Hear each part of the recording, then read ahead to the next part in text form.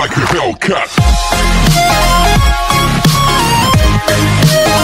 I had a coolant hose bust while I was giving it a pull down the road a couple days ago.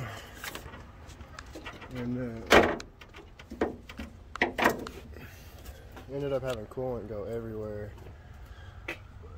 You can see the, the puddle right there.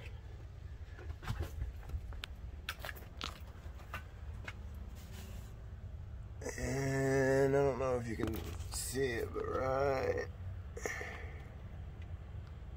That damn hose busted right there and it shot coolant everywhere. So I'm gonna get this replaced real quick.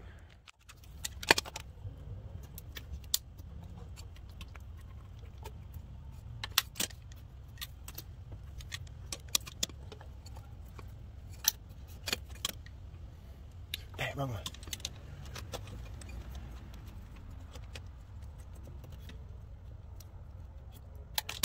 I got it off. You can see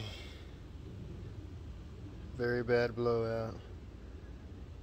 I'm thinking that's why my car has been idle surging too. Like when I run my AC, it uh, it always jumps up and down. Uh, only whenever it's on like two, three, and four, as far as like the fan speed goes. But uh, you leave it on one, it runs fine and I've been losing coolant and I haven't been able to figure out why. So I think this is the reason to a lot of my issues is that one coolant hose. So hopefully after I get I replace this this will fix a lot of my issues. I forgot to put the new hose on. That was hard to do with one hand so wasn't able to record it. I don't really see anything else. Man, I got some major oil leaks. Alright. Put all this back on.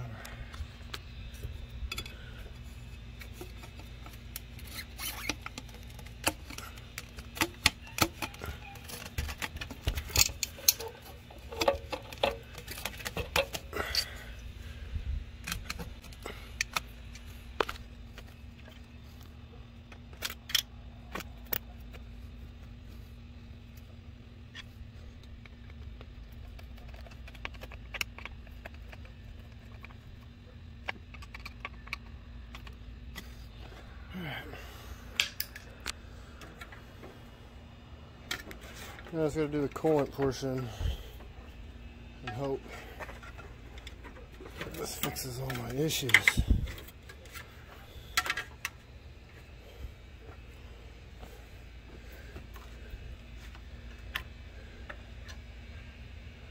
Bone dry.